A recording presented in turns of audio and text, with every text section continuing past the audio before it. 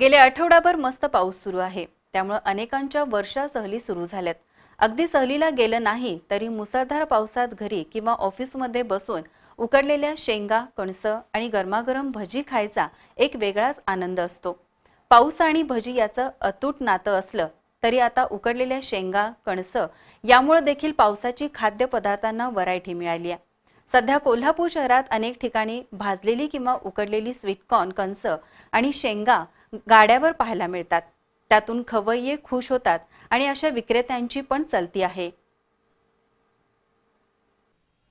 गेल्या काही दिवसापासून बाहेर मस्त पाऊस सुरू आहे. धो धो कोसळणाऱ्या पावसात गरमागरम भजी आणि चहाचा आनंद काही वेगळाच असतो. पावसाळ्यात गरमागरम भजीची मागणी चांगलीच वाढते. पण आता भजीसोबत आणखीही काही खाद्यपदार्थांची भर पडली आहे. भाजलेल्या किंवा उकडलेल्या भुईमुगाच्या शेंगा आणि उकडलेली कणसं हल्ली अनेक ठिकाणी मिळू लागलीत. भाजलेल्या शेंगा यापूर्वीही मिळायच्या पण गेल्या काही वर्षात शहरात बघल तिकडं उकडलेल्या कणसांच्या गाड्या दिसू लागल्या.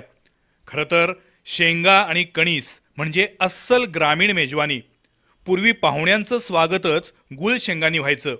सध्या पावसाळ्याच्या दिवसात पुन्हा एकदा या शेंगांना चांगलीच मागणी आली आहे.